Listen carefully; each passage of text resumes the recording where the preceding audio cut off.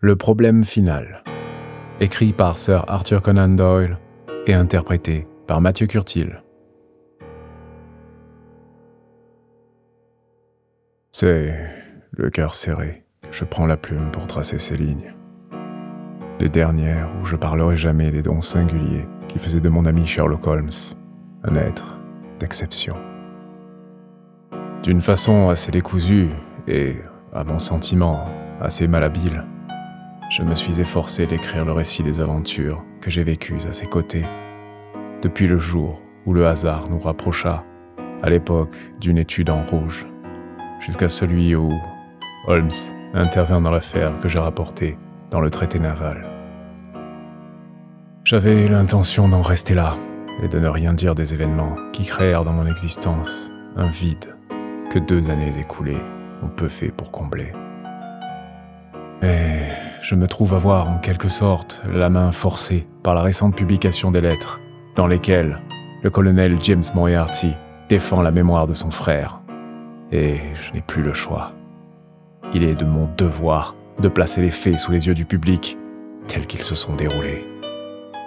Je suis le seul à savoir toute la vérité sur l'affaire, et j'ai la conviction que l'heure est venue où rien ne justifierait plus mon silence. Autant que je sache, l'histoire n'a été contée dans la presse que trois fois. Le 6 mai 1891, dans un article du Journal de Genève. Le 7, dans une dépêche Reuters, reproduite par tous les journaux anglais. Et, tout dernièrement, dans les lettres auxquelles je viens de faire allusion. L'article et la dépêche étaient extrêmement brefs, et les lettres, comme je le montrerai, dénaturent complètement les faits. Il m'appartient donc de dire, et pour la première fois, ce qui s'est réellement passé entre le professeur Moriarty et Mr. Sherlock Holmes.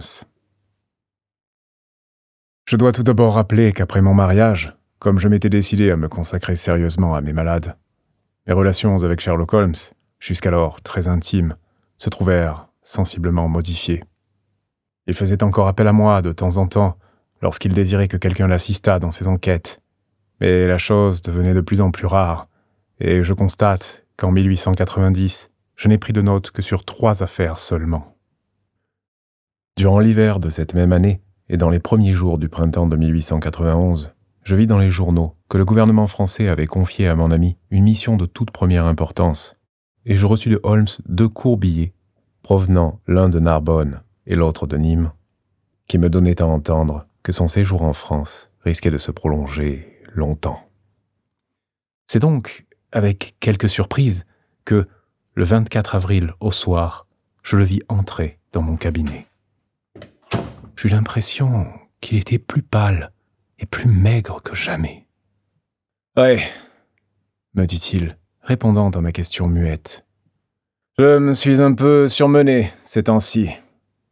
J'ai eu passablement à faire. Vous ne voyez pas d'objection à ce que je ferme vos volets? Il n'y avait dans la pièce d'autre lumière que celle de la lampe posée sur la table. Holmes, longeant les murs, gagna la fenêtre, ferma les volets et les fixa solidement. Vous avez peur de quelque chose? Exactement. Et de quoi en particulier? Des carabines d'air comprimé. Qu'est-ce que vous me racontez là? Je crois, mon cher Watson, que vous me connaissez assez pour savoir que je ne suis pas un homme nerveux. Cependant, je considère qu'il y a plus de sottise que de courage à se refuser à voir le danger lorsqu'il est sur vous. Puis-je vous demander une allumette? Il tira quelques bouffées de sa cigarette, puis reprit. Je m'excuse de vous rendre visite à une heure si tardive, et aussi d'être obligé de vous présenter une requête insolite.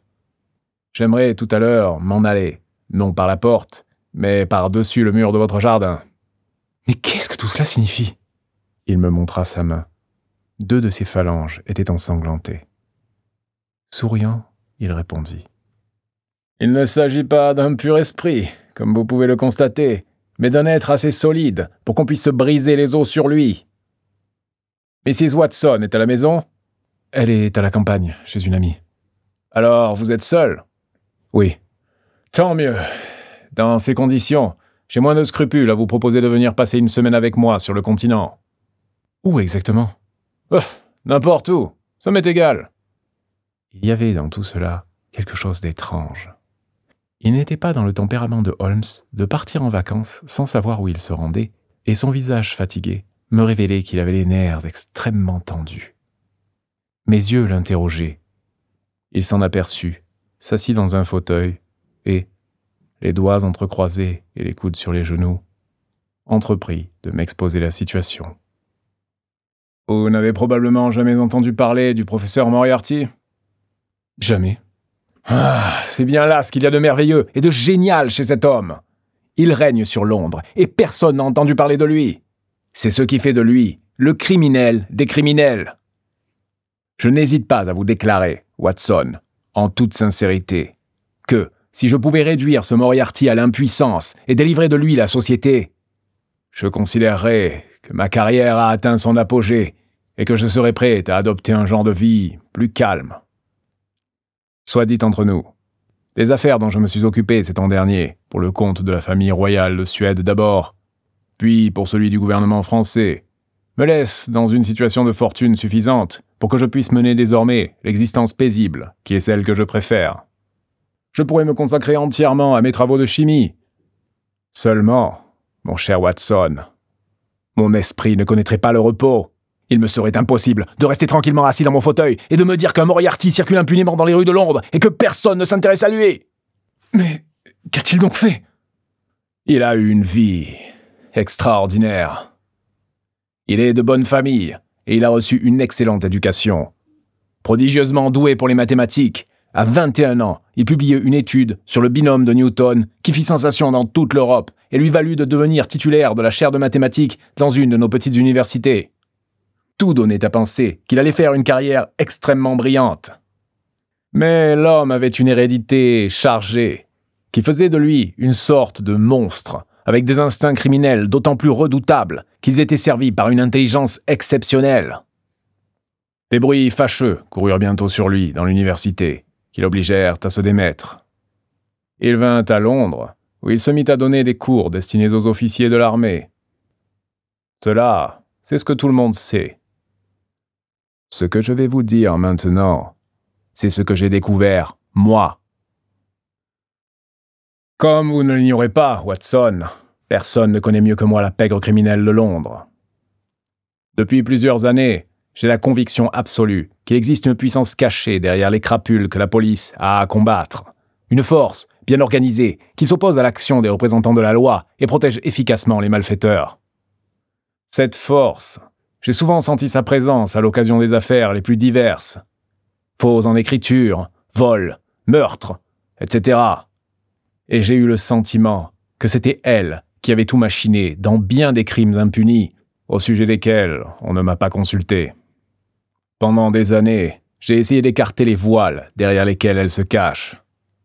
J'ai fini par trouver une piste qui, après mille détours imprévus, m'a conduit à ce mathématicien célèbre qu'est l'ex-professeur Moriarty. Cet homme, Watson, c'est le Napoléon du crime. Je le tiens pour responsable de la moitié des méfaits, connus ou inconnus, qui se commettent à Londres. Il a du génie. C'est un philosophe et un penseur, un cerveau. Il ne bouge pas. Il est comme l'araignée au milieu de sa toile, une toile immense qui a des milliers de ramifications dont le moindre frémissement lui est sensible. Personnellement, il agit peu. Il se contente de dresser les plans de campagne. Mais ses agents sont innombrables et merveilleusement organisés. Y a-t-il un crime à commettre, un document à voler, une maison à cambrioler, un homme à faire disparaître? On alerte le professeur, il prépare le coup et on travaille sur ses données. L'agent d'exécution peut être pris. Dans ce cas, on trouve de l'argent pour le faire mettre en liberté provisoire et lui assurer un bon défenseur. Quant à la force occulte qu'il a mise en mouvement, elle n'est ni inquiétée, ni même soupçonnée. Cette organisation, le raisonnement, Watson, me permettait d'affirmer qu'elle existait. J'entrepris de la combattre de toute mon énergie, résolu à la démasquer et à la détruire. Je m'aperçus bientôt que les précautions de Moriarty étaient si savamment prises que, quoi que je puisse tenter, il me serait impossible de réunir les preuves indispensables pour obtenir contre lui une condamnation. Vous savez, Watson, ce dont je suis capable. Au bout de trois mois, j'étais pourtant obligé de convenir que, cette fois, je me heurtais à un adversaire qui, sur le plan intellectuel, était mon égal. L'horreur que m'inspiraient ses crimes se confondait avec l'admiration que j'éprouvais pour sa diabolique habileté. Il finit cependant par commettre une erreur, une toute petite erreur sans doute, mais qui était plus qu'il ne pouvait se permettre alors que j'étais sur sa trace.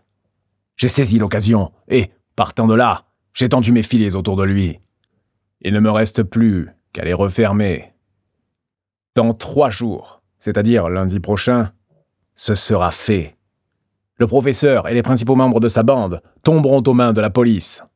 Nous aurons ensuite le plus grand procès criminel du siècle, qui nous apportera la solution de plus d'une quarantaine d'affaires demeurées mystérieuses et se terminera par la corde pour tous les accusés.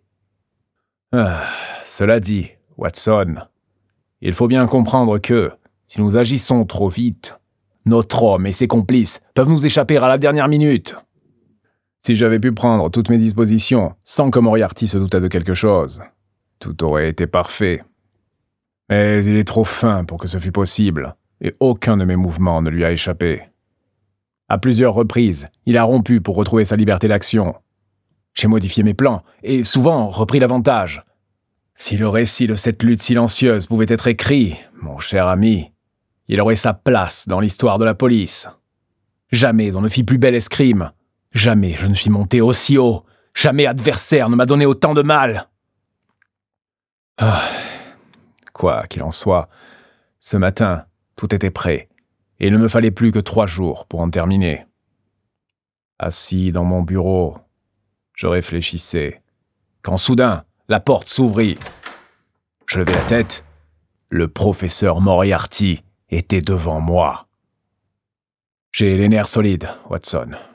Mais je dois avouer que j'ai reçu un choc quand j'ai aperçu, debout sur mon seuil, cet homme qui si souvent a occupé mes pensées. Son apparence m'était déjà familière. Il est très grand, mince, avec un vaste front bombé et des yeux profondément enfoncés dans les orbites. Rasé, pâle, il a une figure d'ascète, et ses traits ont gardé quelque chose du professeur qu'il a été. Il se tient légèrement voûté, et ne cesse de se balancer doucement de droite à gauche et de gauche à droite, un peu Cette curieuse comparaison m'est venue à l'esprit. À la manière des lézards.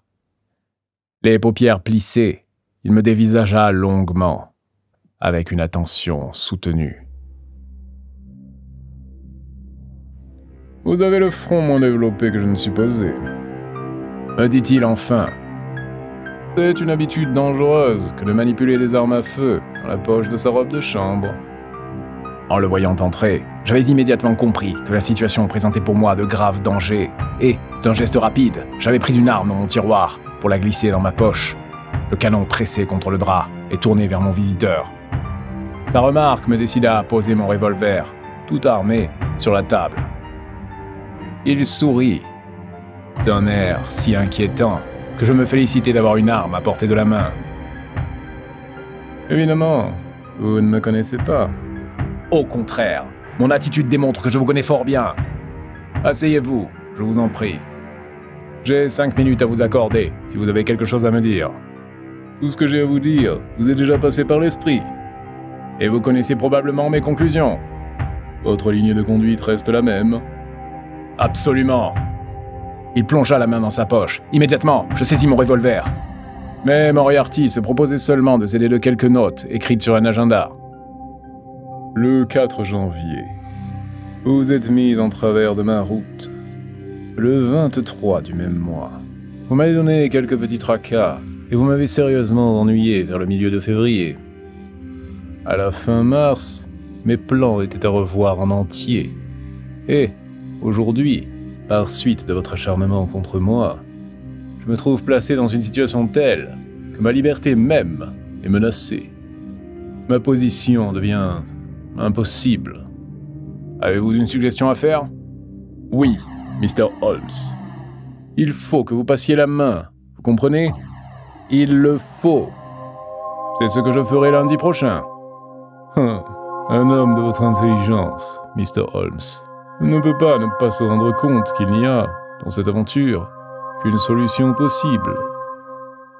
Vous devez vous retirer. C'est indispensable. Vous avez manœuvré de telle sorte qu'il ne nous reste plus, à nous, qu'une ressource. La façon dont vous êtes intervenu dans cette affaire a été pour moi un véritable régal intellectuel, et, je le dis en toute sincérité, il me serait pénible d'être contraint d'en venir aux mesures extrêmes. Hum, vous souriez, mais je vous assure que c'est la vérité. Je lui fis observer que le danger faisait partie de mon métier.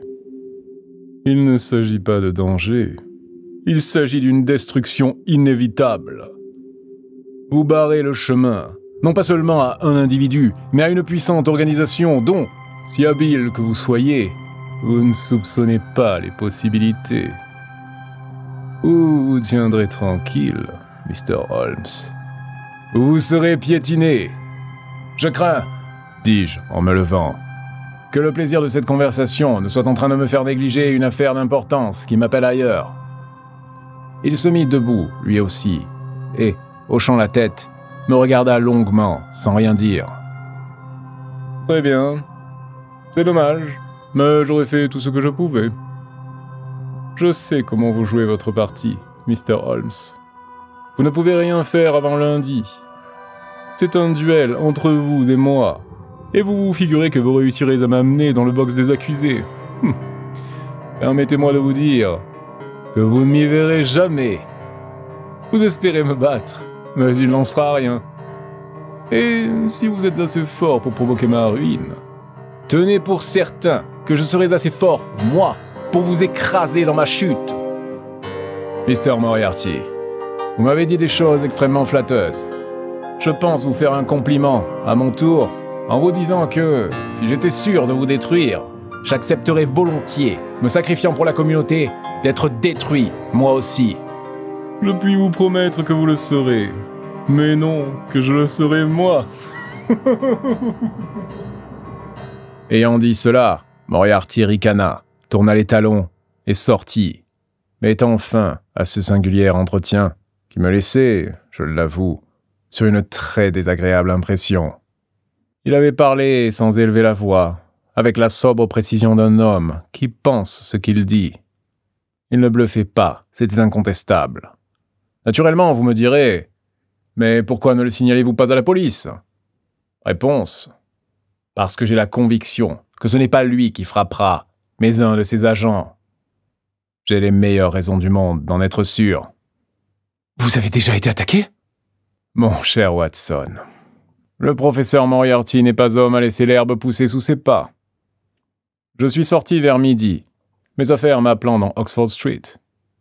Venant de Benting Street, je traversais le carrefour pour gagner Welbeck Street quand une voiture de livraison, attelée de deux chevaux, m'est arrivée dessus à une allure folle, je n'ai eu que le temps de faire un bond de côté, échappant à la mort par une fraction de seconde.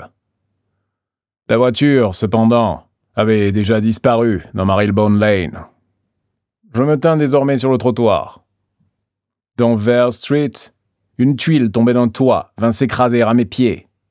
J'appelai un agent et fis examiner la maison. Le toit était effectivement en réparation. Des tuiles attendaient d'être employées, et ont voulu me persuader que c'était le vent qui avait fait voler celle qui avait failli me fracasser le crâne. Hum, je savais à quoi m'en tenir là-dessus, mais je n'avais pas de preuves.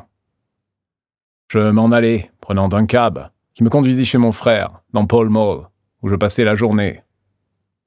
En venant chez vous, j'ai été attaqué par un voyou qui maniait la matraque avec virtuosité. Je l'ai mis KO et les agents l'ont pris en charge. Mais je suis absolument convaincu qu'il sera impossible de démontrer qu'il existe une relation quelconque entre le gentleman sur la mâchoire duquel je me suis abîmé la main et le professeur de mathématiques qui se trouvait, j'en suis sûr, à dix milles du lieu de l'agression, étudiant au tableau noir quelques problèmes compliqués. Vous ne vous étonnerez donc pas, mon cher Watson, si la première chose que j'ai faite en arrivant chez vous a été de fermer les volets, et si je me vois dans l'obligation de vous demander la permission de me retirer par une sortie plus discrète que la grande porte. J'avais souvent admiré le courage de mon ami, mais jamais plus qu'en cet instant précis, où, calmement assis dans son fauteuil, il récapitulait cette série d'incidents qui avaient fait de sa journée quelque chose de terrible. Pourquoi ne passeriez-vous pas la nuit ici? Parce que vous découvririez peut-être, mon cher ami, que je suis un hôte, par trop dangereux. Mes plans sont dressés, et tout ira bien. Au point d'où en sont les choses, les événements doivent se développer sans que j'intervienne, au moins jusqu'à l'arrestation. Ma présence ne devenant indispensable que pour faire condamner le personnage. Par conséquent, je ne puis mieux faire que de m'éloigner durant les quelques jours qui restent à courir avant que la police ne puisse entrer en action. C'est pourquoi il me serait très agréable que vous acceptiez de venir sur le continent avec moi. J'ai peu de malades en ce moment, et j'ai un confrère avec qui je m'entends parfaitement. Je serais ravi de vous accompagner. Et de partir demain matin Si c'est nécessaire. N'en doutez pas. Voici donc vos instructions, et je vous prie, mon cher Watson, de les suivre à la lettre, car, à partir de cet instant, nous avons, vous et moi, parti liés contre le bandit le plus intelligent qui soit en Europe et contre la plus puissante organisation criminelle du monde entier. Écoutez-moi bien. Ce soir, vous ferez porter vos bagages par un homme sûr à la gare de Victoria. Aucune adresse sur votre mal, bien entendu. Demain matin, vous enverrez votre valet et vous chercher un cab. Recommandez-lui de ne pas prendre le premier qui se présentera, non plus que le second. Vous sauterez dans la voiture et vous vous ferez conduire au bout du Strand, juste devant l'Other Arcade. Cette adresse, vous la ferez connaître au cocher sur un morceau de papier que vous aurez soin de récupérer. Vous tiendrez tout près le prix de la course et, dès que votre cab se sera arrêté, vous vous engouffrerez sous l'arcade, vous arrangeant pour arriver de l'autre côté à 8h45 précise. Là, vous trouverez, vous attendant au bord du trottoir, un petit coupé, conduit par un homme qui portera un manteau noir à collet rouge. Vous grimperez dedans et vous arriverez à Victoria à temps pour vous installer dans le Continental Express. Où vous retrouverai-je À la gare. Le deuxième compartiment dans la première voiture de première classe nous est réservé. Donc, rendez-vous au wagon? Tout à fait. Ce fut en vain que je pris Holmes de passer la soirée avec moi. De toute évidence, il estimait que sa présence risquait d'avoir des conséquences fâcheuses pour son hôte, et qu'il n'avait le droit de l'imposer à personne. Il me fit encore quelques rapides recommandations pour le lendemain, puis s'en alla par le jardin. Je le vis escalader le mur et sauter dans Mortimer Street. Peu après, je l'entendis siffler un cab, dans lequel il s'éloigna. J'observai strictement ses instructions. Le lendemain matin, mon valet alla me chercher un cab et prit toutes les précautions nécessaires pour être sûr que celui qu'il choisissait n'avait pas été placé là spécialement dans mon intention. Mon petit déjeuner pris, je me fis conduire à l'Other Arcade, que je traversai en trombe. Le coupé était là, avec un cocher massif, enveloppé dans un lourd manteau noir, à parement rouge. L'homme fouetta son cheval avant même que je ne fusse assis, me déposa à la gare de Victoria et disparut avec sa voiture, sans même m'accorder un regard. Jusque-là, tout avait bien marché. Mes bagages m'attendaient, et je trouvais sans difficulté le compartiment que Holmes m'avait indiqué, et qui était d'ailleurs, dans tout le train, le seul sur les vitres duquel on eût apposé une affichette portant le mot réservé. Mon seul souci était de ne point voir Holmes apparaître. Sept minutes seulement nous séparaient de l'heure fixée pour le départ, et cet événement que je scrutais les groupes, dans l'espoir de découvrir, parmi les voyageurs et ceux qui étaient venus leur dire adieu, la mince silhouette de mon ami. Je passai quelques instants à venir au secours d'un vénérable prêtre italien qui, en très mauvais anglais, s'efforçait de faire comprendre à un porteur que ses malles devaient être enregistrés pour Paris. Après quoi, ayant encore une fois inspecté le quai d'un coup d'œil, je regagnai mon compartiment pour m'apercevoir que le porteur, malgré la fichette, nous avait donné pour compagnon de voyage le vieil ecclésiastique transalpin. Mon italien étant encore plus pauvre que son anglais, il était inutile d'essayer de lui expliquer qu'il occupait une place réservée. Je me résignai et m'approchai de la fenêtre, cherchant des yeux mon ami. Je commençais à me sentir inquiet. Son absence ne signifiait-elle pas que quelque chose lui était arrivé durant la nuit? On fermait les portières et la locomotive sifflait.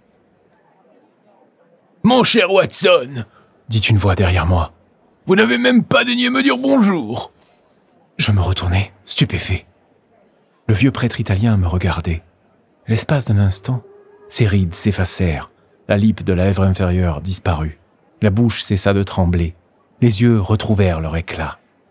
Puis, subitement, tout rentra dans l'ordre. Holmes était parti aussi vite qu'il était venu. Oh mon Dieu oh, J'en suis encore abasourdi Je ne pus négliger aucune précaution.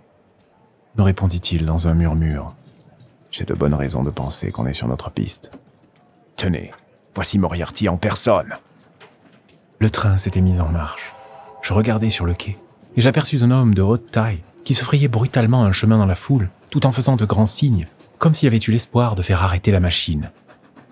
Mais il était trop tard. Nous prenions déjà de la vitesse et, peu après, nous avions quitté la gare. Vous voyez que, malgré tout, nous l'avons échappé belle. Il se leva, retira son chapeau et se dépouilla de sa soutane. Les accessoires de son déguisement rangés dans une mallette, il se tourna vers moi. Vous avez lu les journaux du matin? Pas encore. Alors, vous ne savez pas ce qui s'est passé à Baker Street? À Baker Street? On a mis le feu chez moi. Mais il y a peu de dégâts. Le, le feu? Mais c'est insensé J'imagine qu'ils ont complètement perdu ma trace, hier soir, après l'arrestation de l'homme à la matraque. Sinon, ils n'auraient pas supposé que j'étais rentré chez moi. Évidemment, ils vous surveillaient. Et c'est ce qui a amené Moriarty à la gare. Vous n'avez pas fait de fausse manœuvre en venant.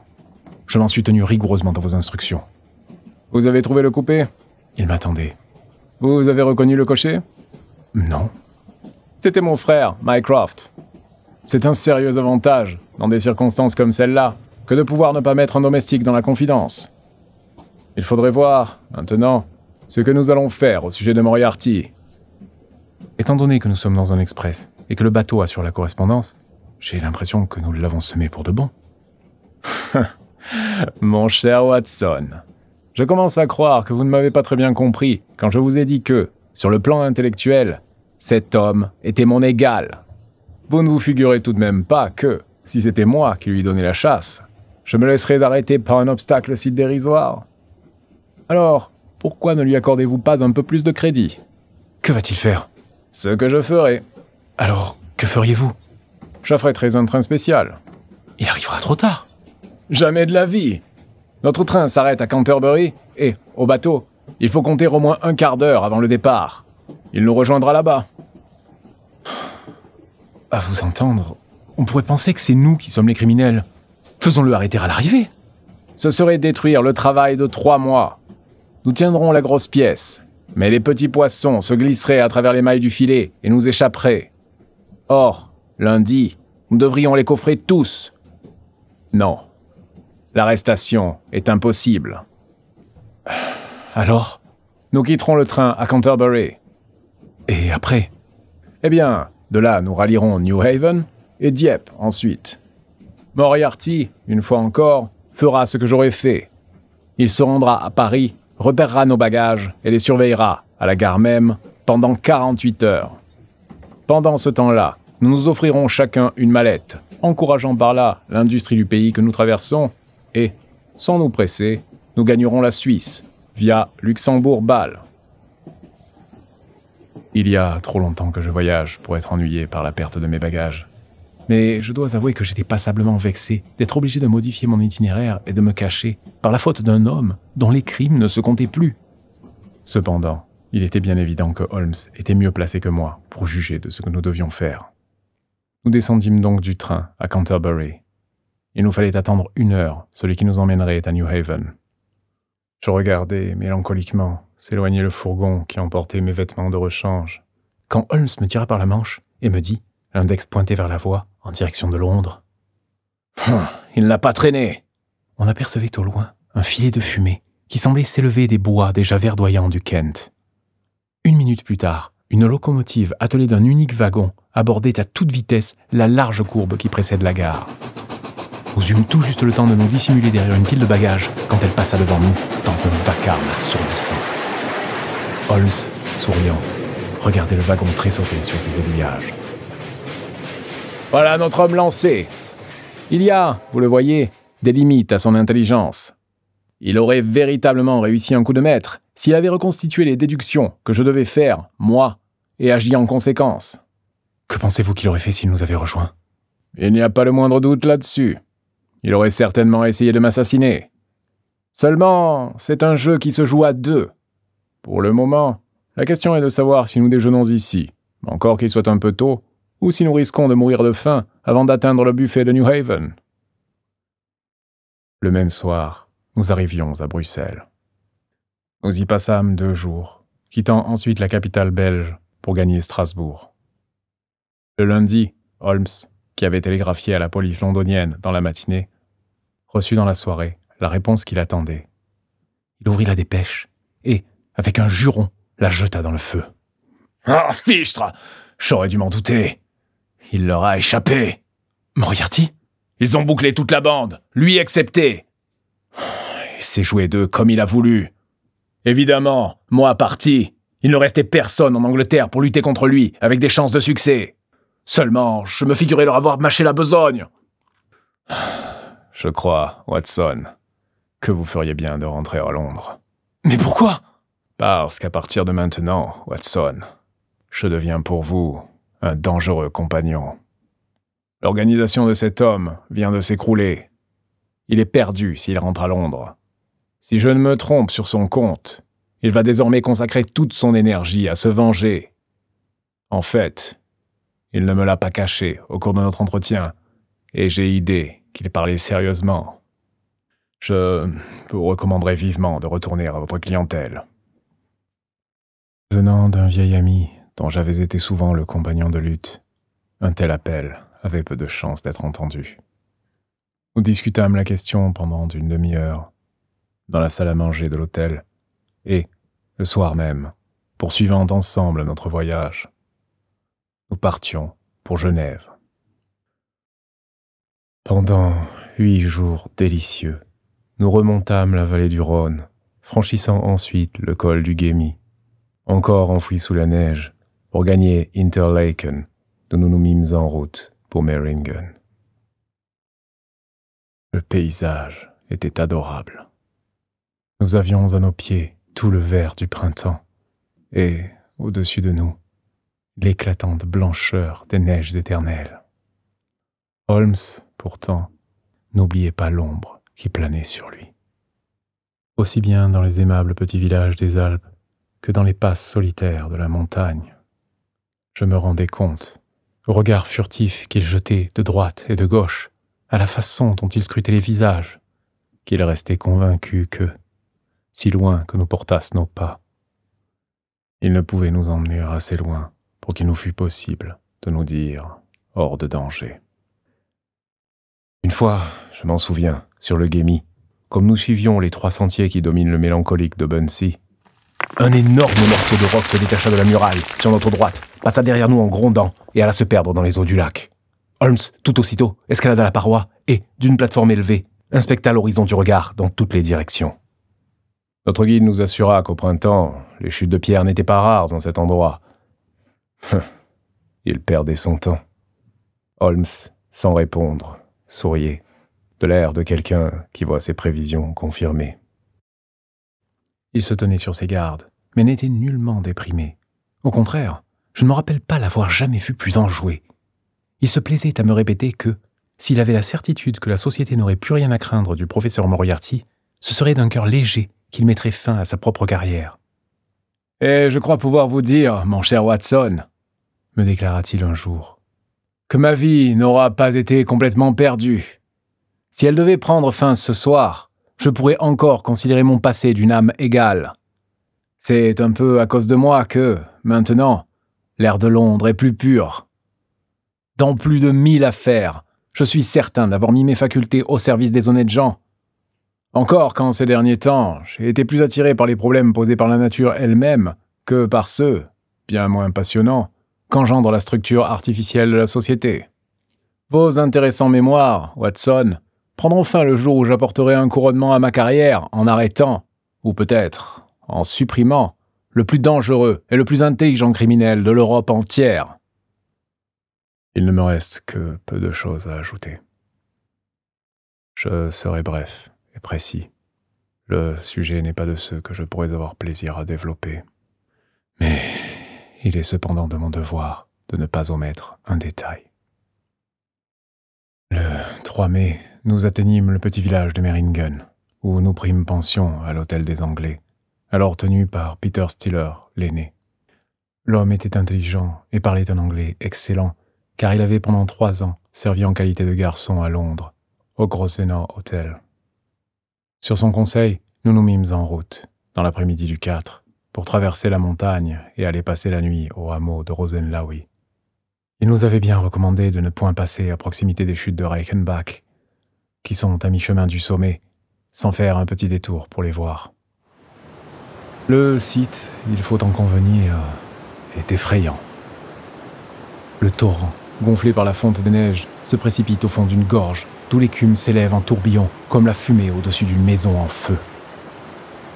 Le défilé dans lequel la rivière se rue est une sorte de ravin, aux parois d'un noir brillant de houille. Elle va se rétrécissant dans un bouillonnement blanc, sous lequel se devinent d'insondables profondeurs. L'eau verte coule en mugissant sous un rideau d'écume, et de l'abîme monte un grondement sourd et continu. Nous contemplâmes longuement ce paysage dantesque. Accroché au flanc de la montagne, le sentier sur lequel nous nous tenions avance jusqu'au-dessus de la chute pour qu'on puisse mieux l'admirer. Mais prend fin brusquement et le touriste ne peut se retirer qu'en revenant sur ses pas. C'est ce que nous allions faire quand nous vîmes accourir dans notre direction un jeune garçon du pays qui brandissait une lettre. L'enveloppe portait l'entête de l'hôtel et le pli m'était destiné. Il m'informait que, quelques minutes à peine après notre départ, une Anglaise était arrivée à l'hôtel.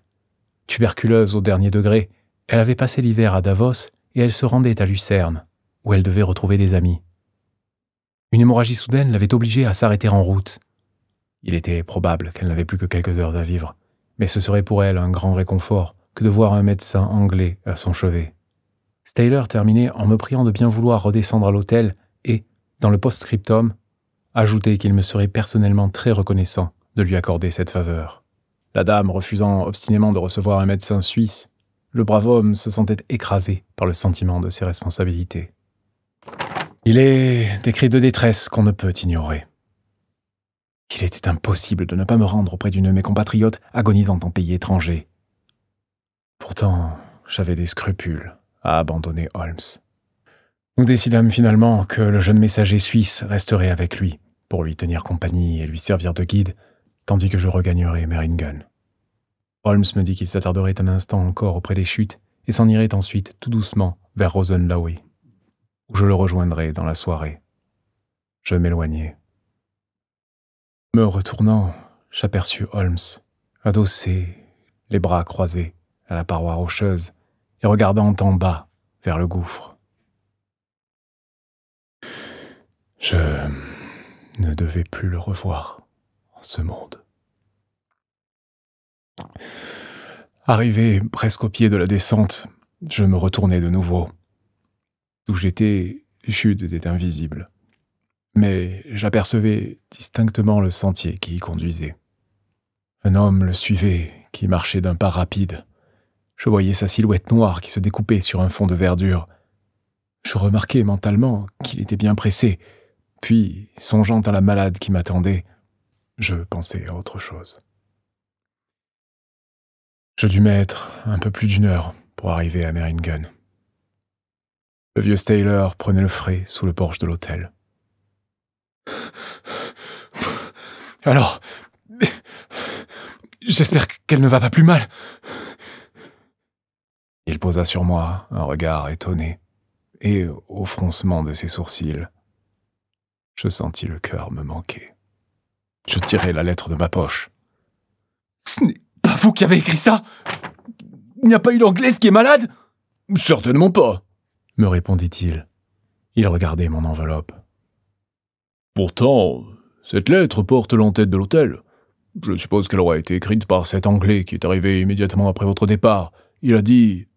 Je n'attendis pas ces explications. Redoutant le pire, je descendais déjà en courant la grande rue du village pour rejoindre le sentier par lequel j'étais venu. Je me hâtais autant qu'il me fut possible. Mais il ne me fallut pas moins de deux heures pour me retrouver au point où j'étais parti. Alpenstock de Holmes était toujours là, posé contre le roc, à l'endroit même où je l'avais vu à mon départ. Mais, mon ami, avait disparu.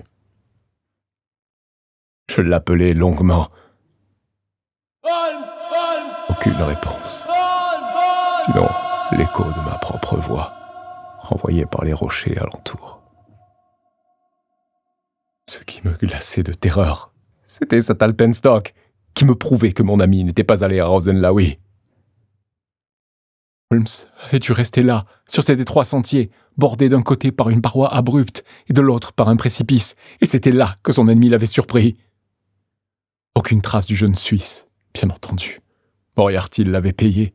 Le gamin était parti, laissant les deux hommes face à face. Que s'était-il passé ensuite? Qui pourrait jamais nous le dire? Je demeurai là, une minute ou deux, cloué sur place, essayant de me ressaisir et de secouer l'horreur qui m'accablait. Puis je pensais aux méthodes d'Holmes et m'efforçais de les utiliser pour reconstituer le drame. Ce n'était, hélas, que trop facile. Durant notre conversation, nous n'étions pas allés jusqu'à l'extrême bout du sentier, et l'alpenstock marquait l'endroit exact où nous nous étions arrêtés. Le sol était entretenu dans un état d'humidité constante par l'écume pulvérisée qui jaillissait du ravin, et un moineau, en trottinant, y eût laissé des empreintes. On voyait nettement des traces de pas, formant une double piste qui s'éloignait vers l'extrémité du sentier.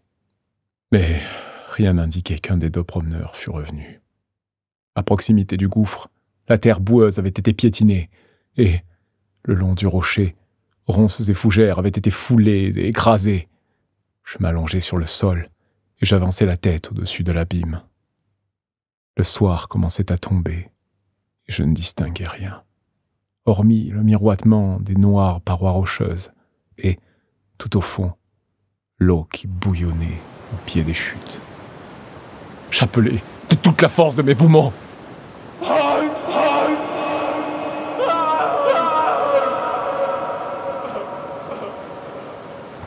réponse parvint à mes oreilles. Il était écrit pourtant que mon vieil ami m'adresserait un dernier adieu.